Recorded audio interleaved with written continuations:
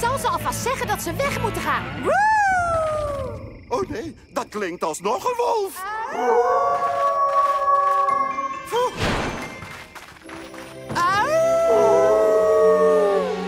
Wat goed, Marshall. Ik ga meneer Wingnut redden.